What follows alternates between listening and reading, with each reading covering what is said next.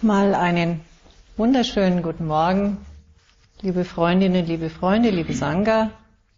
Heute ist Samstag, der 13. Juni. Wir sind hier in Johanneskirchen zusammengekommen, um einen Tag der Achtsamkeit, des gemeinsamen Praktizierens zu verbringen. Wir haben uns Ende letzten Jahres und Anfang diesen Jahres in unseren Vorträgen am Meditationsabend in München mit dem Buch von Thich Ärger mit dem Untertitel Befreiung aus dem Teufelskreis destruktiver Emotionen beschäftigt. Indem uns Tai so viele Anregungen, ich persönlich nenne es immer gerne Werkzeuge aufzeigt, wie wir friedvoll und glücklich mit unserer Familie leben können.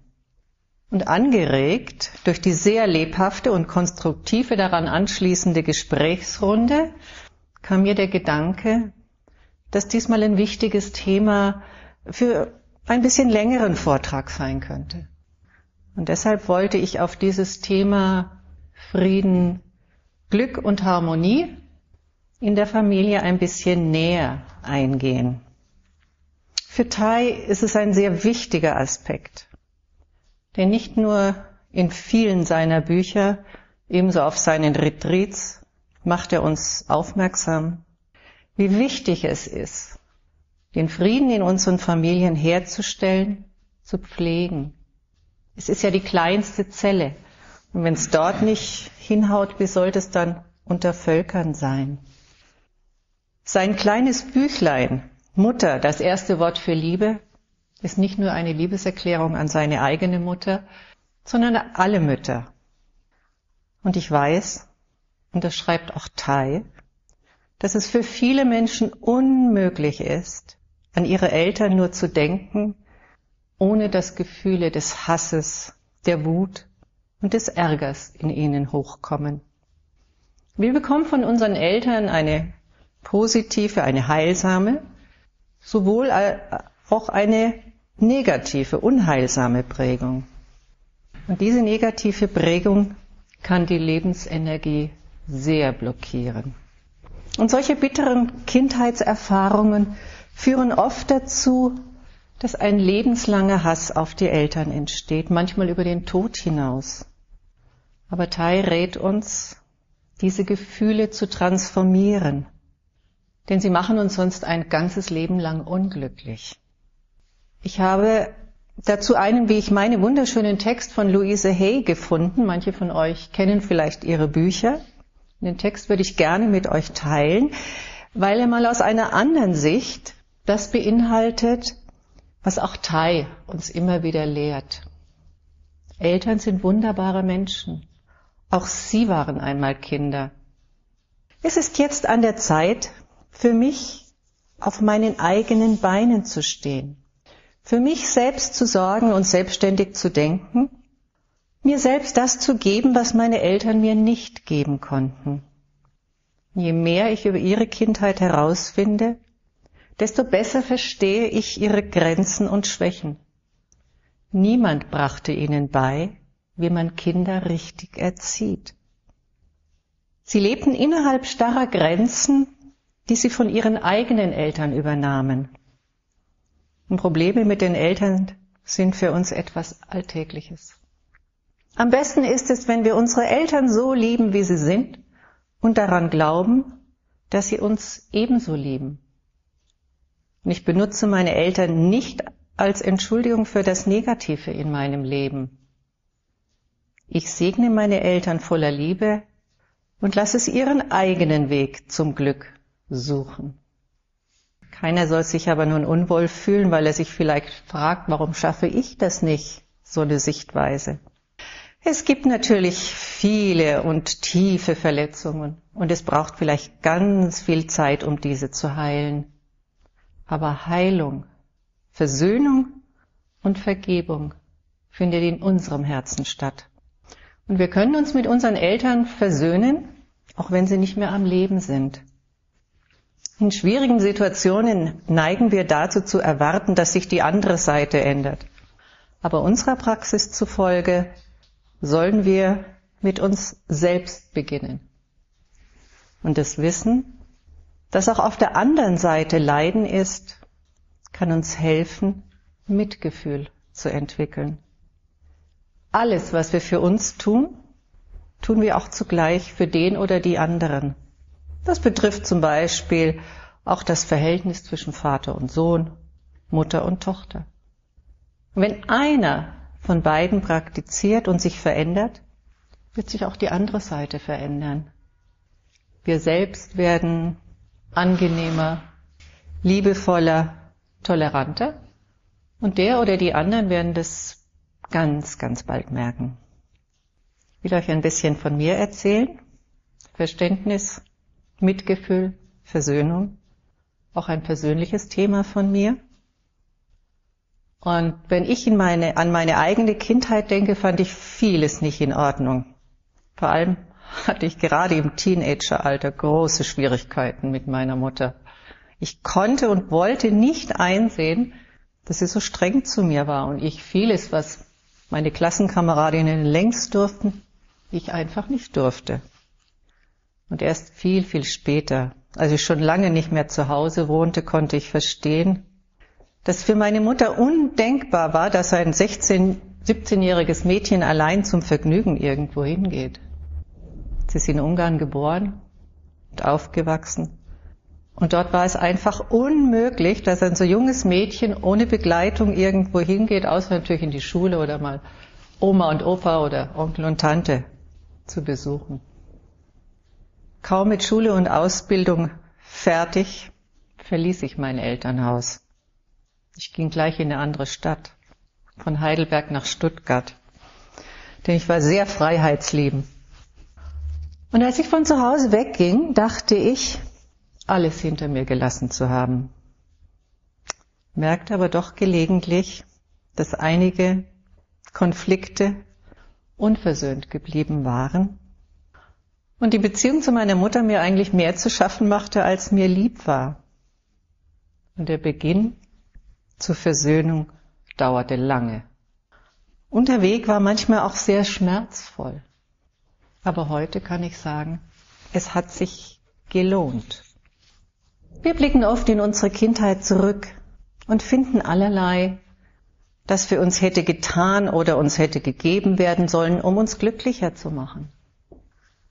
Und die Diskrepanz zwischen der erlebten Realität und unserem Wunschtraum, die zieht unsere Aufmerksamkeit magisch an. Wir übersehen dabei die vielen Situationen, in denen wir bestens versorgt wurden. Ich selbst lebte viele Jahre mit dieser Ansicht und das aber nicht besonders glücklich.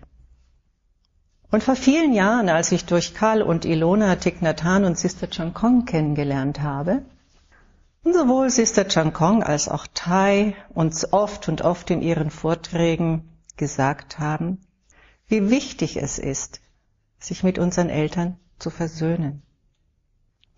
Ich habe die Meditation über tiefes Schauen und Heilen kennengelernt, die ja Robert heute euch vorgestellt hat, wo man sich die Eltern als fünfjähriges, verletzliches Kind vorstellt, das eben auch in diesem Alter sehr zart und verletzlich ist.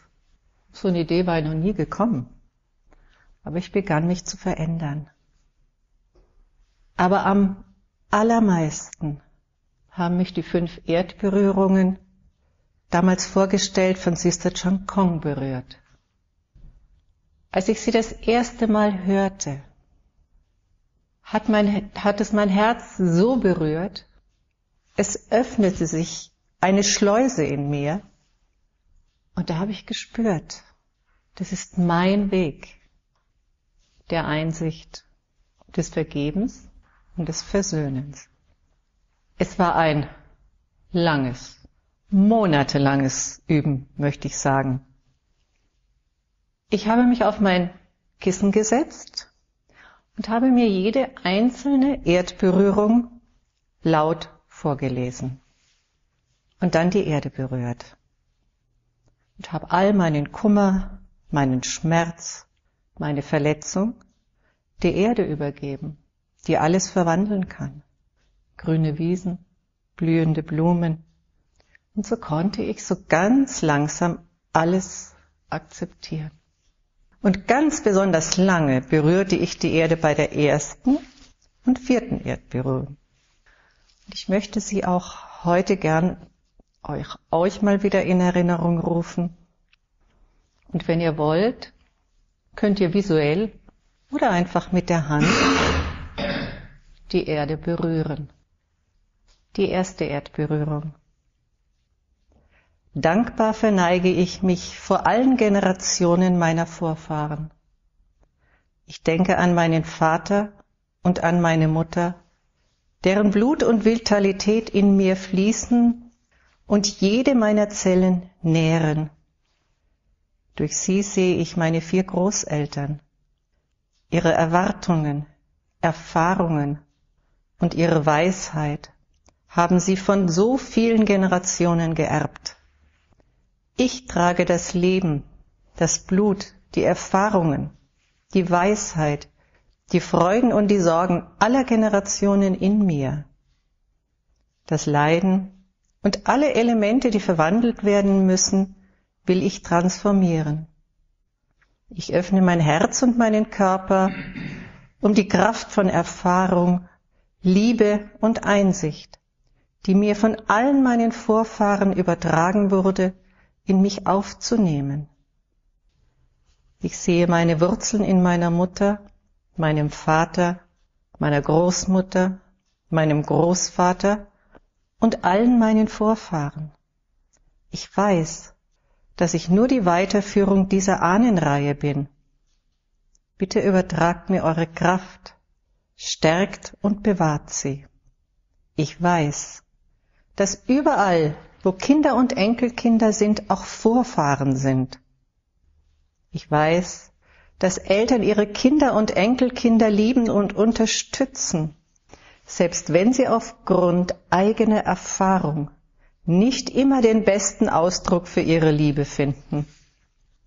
Ich erkenne, dass meine Vorfahren versucht haben, ein Leben zu führen, das auf Dankbarkeit, Freude, Vertrauen, Achtung und liebevolle Anteilnahme beruhte.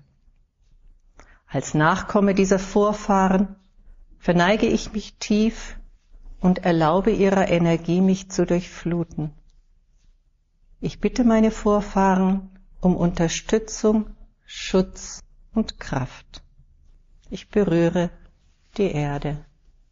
Die vierte Erdberührung in Dankbarkeit und Mitgefühl verneige ich mich tief und übertrage meine Kraft auf jene, die ich liebe. All die Kraft, die ich erhalten habe, möchte ich jetzt meiner Mutter, meinem Vater, allen, die ich liebe und allen, die meinetwegen litten und sich sorgten, weitergeben. Ich weiß, dass ich in meinem Alltagsleben nicht achtsam genug gewesen bin ich weiß auch, dass die, die mich lieben, mit ihren eigenen Schwierigkeiten zu kämpfen haben. Sie haben darunter gelitten, dass sie nicht das Glück hatten, in einem Umfeld zu leben, das sie zu ihrer vollen Entwicklung ermutigte. Ich lasse meine Energie meiner Mutter zufließen und meinem Vater, meinen Geschwistern, meinen Freunden, meinen Ehepartner, meinen Kindern, damit ihr Kummer Linderung findet und sie lächeln können und die Freude des Lebens spüren. Ich möchte, dass sie alle glücklich und gesund sind. Ich empfinde gegenüber keinem von ihnen mehr irgendwelchen Ärger. Ich bitte darum, dass alle Vorfahren meiner Blutsfamilie und meiner spirituellen Familie ihre Energien auf jeden von ihnen richten um sie alle zu schützen. Ich weiß, dass ich nicht getrennt bin von ihnen. Ich bin eins mit allen, die ich liebe. Ich berühre die Erde. Alle fünf Erdberührungen sind nachzulesen in dem Buch von Thich Nhat Hanh und ich blühe wie die Blume. Und natürlich, wenn man selbst die Übung macht, kann man die Erde so lange berühren, wie man es möchte. Aber diese Übung mit den fünf Erdberührungen hat mein Leben glücklicher, verständnisvoller und freudvoller gemacht. Und es geht nicht darum, Verletzungen, Kränkungen, nicht erfüllte Wünsche aus unserer Kindheit zu unterdrücken, sondern sie dank unserer Buddha-Natur, die in jedem von uns vorhanden ist, durch tiefes Verständnis und Einsicht zu transformieren. Aus dieser Veränderung ist bei mir auch eine große Dankbarkeit entstanden. Ich weiß nicht, ob ihr euch noch erinnert, als ich letztes Jahr einen Vortrag über Dankbarkeit gehalten habe. Und in diesem Vortrag ist auch ganz viel Dankbarkeit an meine Eltern. Ich darf noch mal ein kurzes Stück daraus zitieren. Ich bin dankbar, dass ich Eltern hatte, die mir dieses wundervolle und erstaunliche Leben schenkten. Eine Mutter, die sich um mich kümmerte, als ich klein und hilflos war. Eltern, die mir ein behagliches Zuhause schufen, in dem ich behütet aufwachsen konnte. Eltern, die in den kargen Nachkriegsjahren für sich auf vieles verzichteten, um unter anderem mein Schulgeld für die höhere Schule zu bezahlen, die mir Werte auf den Weg gegeben haben, wie Ehrlichkeit, Zuverlässigkeit, Einfachheit, Großzügigkeit, Zufriedenheit, Hilfsbereitschaft und noch vieles, vieles mehr. Und überaus dankbar bin ich, dass ich meiner jetzt bald 95-jährigen Mutter in Heidelberg immer wieder auch meinen Dank und meine Liebe zeigen kann für all das, dass ich selbst viele Jahre so nicht sehen könnte. Ich möchte hier noch einmal gerne unseren großen Lehrer Thich Nhat Hanh zitieren, was er zu den Erdberührungen in seinem schon erwähnten Büchlein Mutter das erste Wort für Liebe schreibt. In der buddhistischen Tradition, der ich angehöre, üben wir täglich eine Praxis, die wir Berühren der Erde nennen. Sie hilft uns in vielerlei Weise und könnte auch Ihnen von Nutzen sein. Wenn Sie ruhelos sind oder es Ihnen an Selbstvertrauen fehlt, wenn Sie zornig oder unglücklich sind, können Sie niederknien und den Boden mit der Hand tief berühren. Und berühren Sie die Erde, als wäre sie Ihr bester Freund. Und die Erde gibt es schon seit langen, langen Zeiten, aber sie ist unser aller Mutter und weiß alles. Als Buddha vor seinem Erwachen mit Zweifeln und Ängsten zu kämpfen hatte, bat er die Erde, seine Zeugin zu sein, indem er sie mit der Hand berührte. Und die Erde erschien ihm voller Schönheit. In ihren Armen trug sie Blumen und Früchte, Bäume und Vögel, Schmetterlinge und viele andere Tiere, die sie Buddha darbot. Und die Zweifel und Ängste des Buddha schwanden augenblicklich. Wann immer Sie unglücklich sind, wenden Sie sich an die Erde und bitten Sie sie um Hilfe. Berühren Sie sie so tief, so wie es der Buddha tat, und plötzlich können Sie die Erde sehen, genau wie sie Buddha gesehen hat. Soweit der Text von Tai. Tai weiß natürlich auch, dass es in vielen, vielen Familien große Kommunikationsschwierigkeiten gibt, wo Menschen nicht mehr miteinander sprechen können oder wollen. Und er gibt uns ein weiteres Werkzeug in die Hand. Er rät uns, einen Brief zu schreiben. Einen Liebesbrief, wie er es nennt. Und wir können und sollen uns vor allen Dingen lange Zeit für diesen Brief nehmen, denn er soll keine Vorwürfe oder Beschuldigungen enthalten, sondern nur Verständnis, Mitgefühl und Liebe für die andere Seite. Wir sollen uns hinsetzen und in unserem Herzen Mitgefühl für die andere Person entwickeln. Wir können den Brief immer und immer wieder lesen, ihn eventuell auch nochmal verändern. In Zeiten des Computers ist es ja nun gar nicht so schwierig mehr. Und vielleicht lassen wir den Brief auch von unserer besten Freundin, unserem besten Freund noch einmal lesen, bevor wir ihn abschicken. Ich habe in einem Dharma-Gespräch anschließend an einen Vortrag über dieses Thema von einem Sangha-Mitglied gehört, dass ein solcher Brief, der so geschrieben wurde, wahre Wunder bewirkt hat. Sollte ein Brief nicht genügen, rät uns Tai einen zweiten, einen dritten, eventuell einen vierten zu schreiben. Denn ich denke, dass wir solch einen Brief nur an Menschen schreiben, die uns sehr viel in unserem Leben bedeuten. Eltern, Geschwister oder Kinder. Manchmal trauen wir uns vielleicht doch nicht so einen Brief wirklich wegzuschicken. Aber schon wenn wir ihn schreiben, in dieser Haltung der Liebe und des Mitgefühls, wird sich bei uns etwas verändern. Versöhnung findet in unserem Herzen statt. Aber zuallererst sollen wir uns natürlich mal mit uns selbst versöhnen, uns annehmen und Frieden mit uns schließen, mit unseren eigenen Stärken, Schwächen, Erwartungen und Ansprüchen. Und erst dann können wir uns wirklich versöhnen mit unseren Eltern und Geschwistern, unserem Partner, unserer Partnerin, unseren Kindern, unseren Freunden, unseren Arbeitskollegen, wer es auch immer sei. In dem Buch von Tai, Sei liebevoll umarmt, gibt es ein wunderschönes Gatha. Ich habe es schon oft ausgedruckt und in unserer Münchner Sangha verteilt und sage immer dazu, dass jeder von uns dies jeden Tag rezitieren und vor allen Dingen verinnerlichen sollte. Wer es noch nicht haben sollte, ich habe auch heute einige Exemplare mitgebracht. Du bist wundervoll, so wie du bist. Versuche nicht jemand anderes zu sein. Das, wonach du suchst, ist bereits da, in dir. Es liegt nicht außerhalb deiner selbst. Du bist bereits, was du werden möchtest. Und du bist wundervoll, so wie du bist. Du musst daher nicht in die Zukunft gehen, um zu werden, was du sein willst.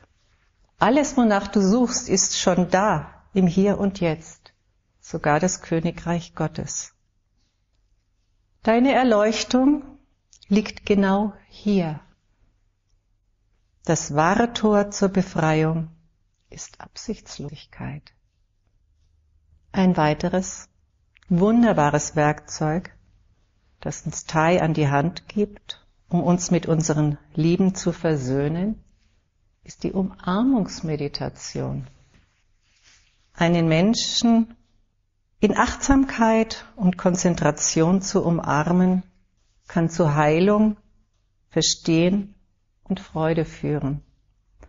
Und die Freude entsteht daraus, dass wir Körper und Geist im gegenwärtigen Moment zusammenbringen, vereinen und erfahren, dass sowohl wir als auch die andere Person lebendig sind. Oft tragen uns unsere Sorgen und Gedanken fort und wir sind nicht wirklich anwesend. Die Übung des achtsamen Umarmens hat vielen geholfen, sich miteinander zu versöhnen. Und wenn wir uns umarmen, verbinden sich unsere Herzen und wir wissen, dass wir in Wahrheit nicht getrennt sind voneinander. Wir können Umarmungsmeditation mit einem Freund, einer Freundin, unserer Tochter, unserem Sohn, unserem Vater, unserer Mutter, unserer Partnerin, unserem Partner, einem Verwandten oder sogar mit einem Baum üben. Zuerst verbeugen wir uns voreinander, um die Gegenwart des anderen anzuerkennen. Dann erfreuen wir uns drei bewusster, tiefer Atemzüge, um ganz gegenwärtig zu werden. Wir umarmen uns und halten uns für drei Atemzüge. Beim ersten Atemzug werden wir uns bewusst, dass wir ganz lebendig sind. Während des zweiten Atemzugs richten wir unser Gewahrsein auf die Lebendigkeit des Menschen, den wir in unseren Armen halten. Beim dritten Atemzug werden wir uns der Freude über unser Zusammensein bewusst und empfinden tiefe Dankbarkeit. Dann öffnen wir die Umarmung und verbeugen uns wieder voreinander. Nachher eine wunderbare Gelegenheit, das mal zu üben. Ich habe auch dazu eine wunderbare Geschichte gefunden. Ich weiß leider nicht, wer sie geschrieben hat, aber ich danke demjenigen, der uns teilhaben lässt an dieser Erfahrung. Sie ist die Geschichte einer Umarmung zwischen Sohn und Vater. Die Haut meines Vaters war sehr gelblich, als er so angeschlossen an intravenöse Schläuche und Monitore auf der Intensivstation des Krankenhauses lag. Normalerweise ein stattlicher Mann. Hatte er doch in kurzer Zeit über 30 Pfund an Gewicht verloren. Die Krankheit meines Vaters war als Pankreaskrebs diagnostiziert worden, eine der bösartigsten Krebserkrankungen. Die Ärzte taten ihr Mögliches, aber sie teilten uns mit, dass er nur noch drei bis sechs Monate zu leben hätte.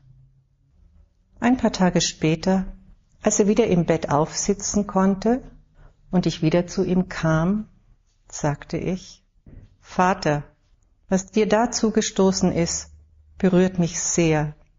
Und ich habe dadurch gemerkt, wie ich immer Distanz gehalten habe und wie sehr ich dich in Wirklichkeit liebe. Ich beugte mich über ihn, um ihn zu umarmen. Aber seine Schultern und Arme wurden steif. Komm schon, Dad, ich möchte dich wirklich umarmen. Einen Augenblick lang sah er schockiert drein. Liebesbezeugungen gehörten nicht zur gewohnten Form unseres Umgangs. Ich bat ihn, sich noch ein bisschen mehr aufzurichten, damit ich die Arme um ihn legen konnte. Dann versuchte ich's aufs Neue. Aber diesmal war er noch verspannter. Ich spürte wieder die alten Ressentiments in mir aufsteigen und ich zu denken begann, na schön, ich habe es nicht nötig.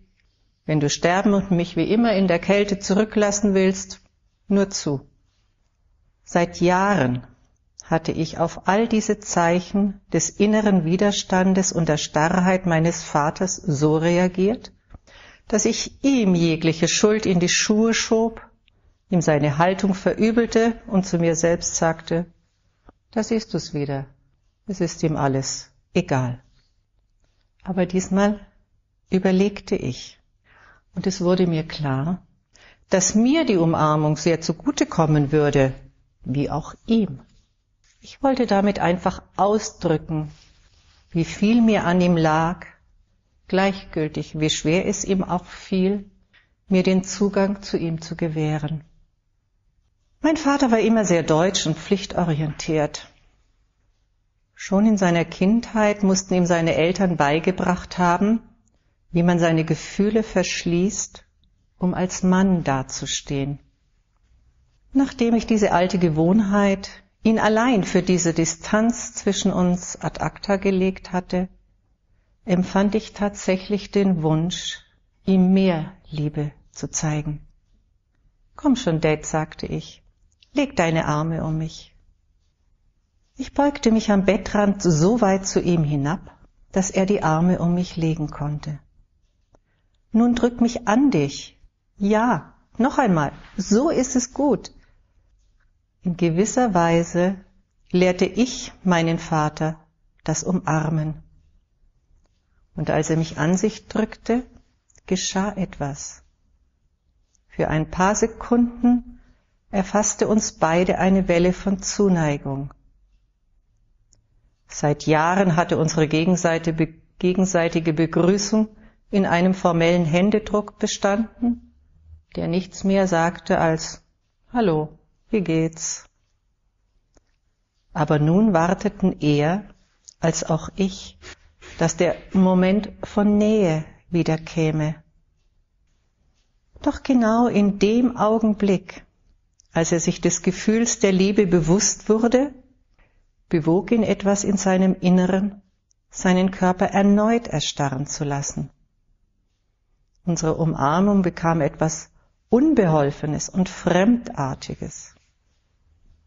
Es dauerte Monate, bis diese Starrheit wich und er in der Lage war, mir seine innersten Gefühle in einer Umarmung mitzuteilen. Bevor mein Vater mich aus eigenem Antrieb umarmte, lag die Initiative lange Zeit bei mir. Ich konnte es ihm nicht verdenken, ihn nur unterstützen. Schließlich musste er die Gewohnheiten eines ganzen Lebens ändern, und das braucht seine Zeit. Aber ich wusste, dass wir uns beide innerlich weiterentwickelten, weil wir uns immer näher kamen. Und es war ungefähr die zweihundertste Umarmung, als ich zum ersten Mal, seit ich zurückdenken konnte, hörte, dass er die Worte aussprach, ich hab dich lieb. Beenden möchte ich meinen Vortrag mit ein paar Momenten des Dankens, des Dankens dafür, dass wir die kostbare Gelegenheit hier haben, über diese Dinge zu reden, zu denken, zu spüren, zu diskutieren.